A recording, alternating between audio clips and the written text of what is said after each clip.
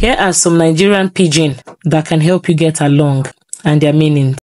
How you dey or how now or how far means how are you.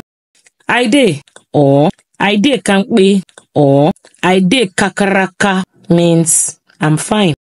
I want chop or I dey hash means I'm hungry. The food sweet wella or the food sweet die means the food is delicious. Wetin the sup means what's happening. My belly they worry me means I'm having stomach upset. You too much means good job. Wahala day or gbege day or yawa day means there's trouble.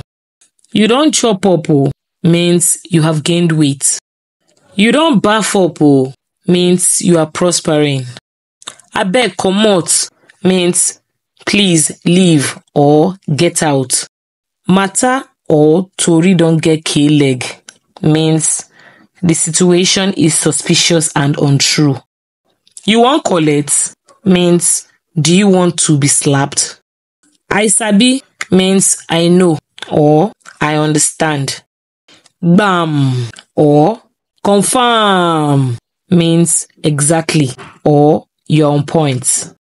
E be like magic or it be like film means it happens quickly or surprisingly or unexpectedly. No shaking or nothing spoil or everywhere good means all is well. Abi is a confirmation of what is being said. You do well means thank you. God don butter my bread o means God has blessed me.